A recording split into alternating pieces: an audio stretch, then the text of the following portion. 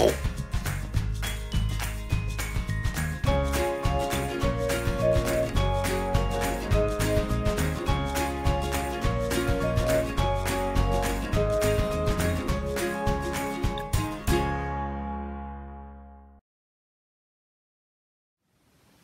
everyone, I'm Hannah Shaw and I'm an author and an illustrator.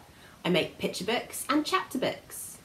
This is my latest book, which is the first in a series about a unicorn pig called Unipiggle.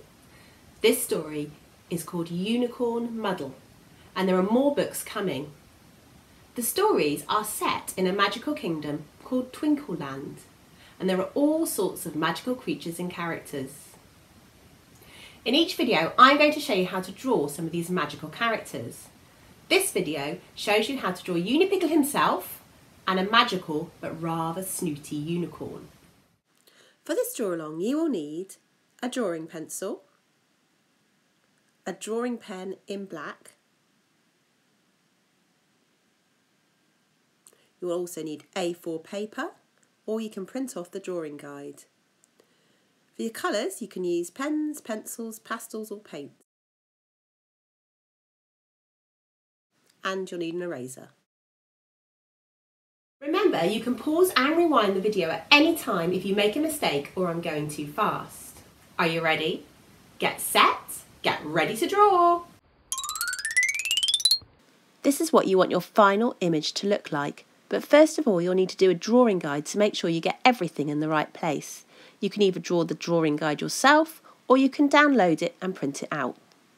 If you're doing it yourself, you need to get your paper, turn it landscape and press very lightly with your pencil.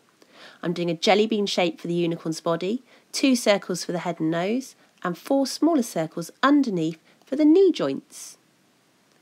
Now we're going to add some ears, triangles, and join the nose and the head circle together to make the face, and the head to the jelly bean to make the neck, and then the top of the legs here. Four of those. And then you can add the bottom of the legs.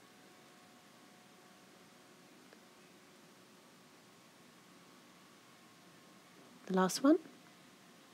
And add triangle shapes for the hooves.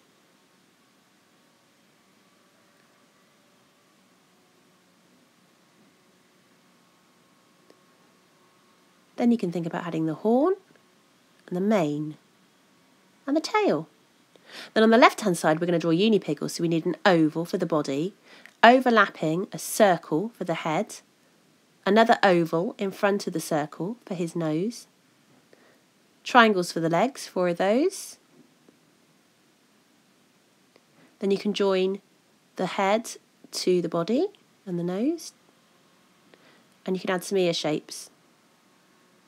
Now you can add the horn and a curly tail. And there you have your drawing guide. Those who have printed off the drawing guide can now also start drawing. So make sure you've got a black pen ready to do the line. It would be good if you had a nice black drawing pen to do this bit. It will really stand out. You're adding all the details to the drawing. You don't need to go over all the lines, so watch carefully. Here we go, here are the legs feathering around the hooves. Make sure you know which leg is in front and which leg is behind.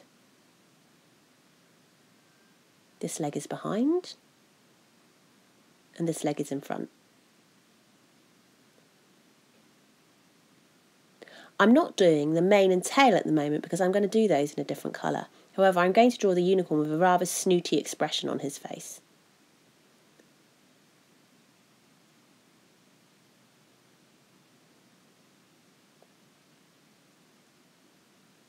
Now I'm going to add detail to Unipiggle, so I'm drawing his snout and his horn, his face, and his ears. And on the ends of his feet, his trotters, I'm drawing little W shapes, as you can see. Here's his curly tail.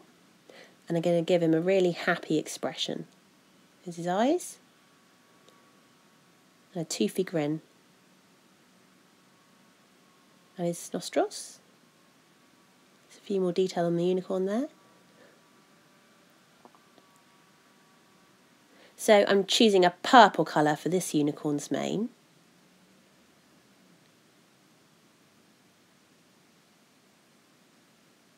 And the tail. Okay, now I'm going to rub out that line I did in pencil, the drawing guide line, and I can add a few more details to the unicorn.